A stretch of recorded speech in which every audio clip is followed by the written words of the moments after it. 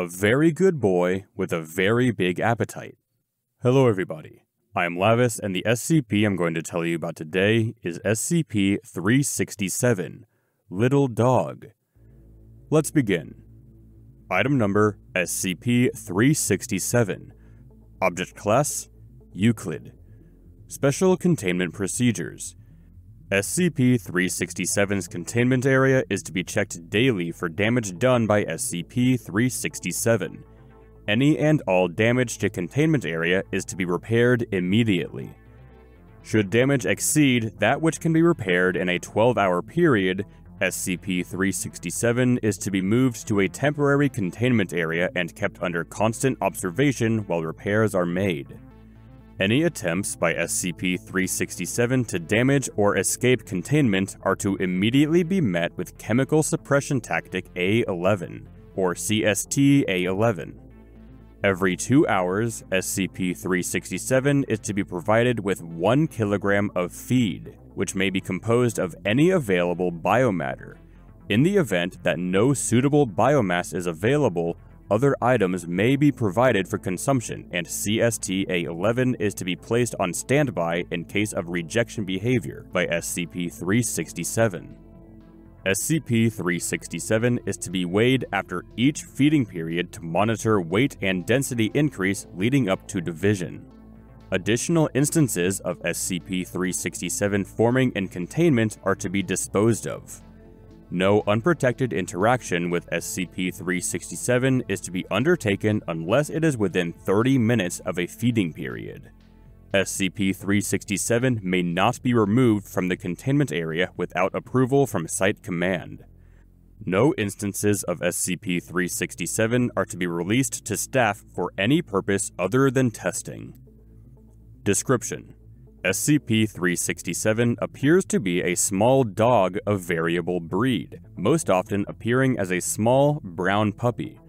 SCP-367 exhibits a slightly elevated appetite and activity level for a dog of its apparent age and size, and does not sleep, but otherwise behaves as expected for a dog.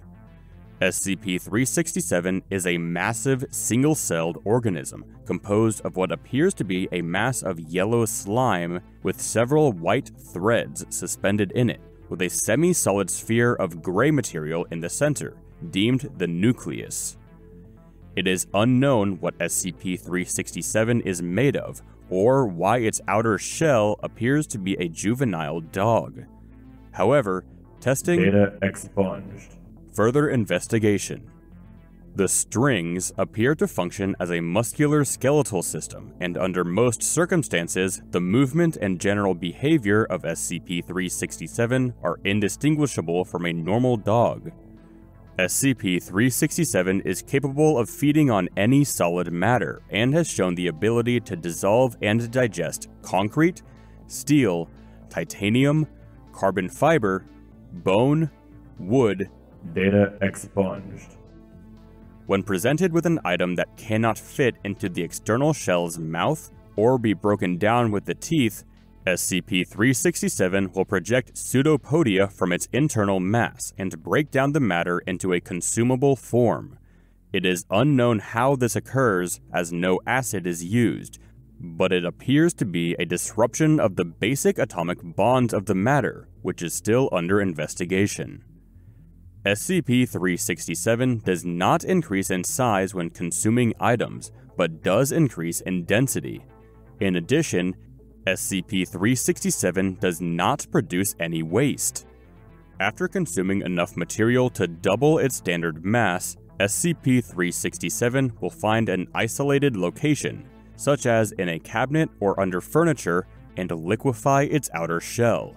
It will then divide into two equal masses and reform its outer shell, creating two instances of SCP-367.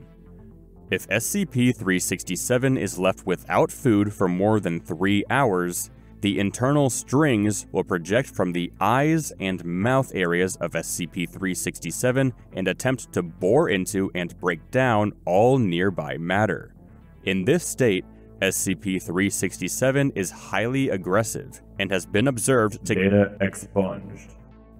Notes on recovery. SCP-367 was recovered from the residential home of Mrs. Myra Bancroft in Ireland. Mrs. Bancroft was reported missing several days before, and Foundation staff established containment of her residence when it was reported that she had over 80 small dogs in her home, which had consumed her corpse and most of the home. A single instance of SCP-367 was recovered, with all other instances eliminated via CST-A11. Ongoing monitoring is in effect to isolate any remaining SCP-367 outside of containment. Thank you very much for listening. If you like what you heard and would like to hear more, please consider liking and subscribing. It would be greatly appreciated. Also, if there are any other SCPs that you would like to hear me read, please leave them in the comments below. Have a nice day.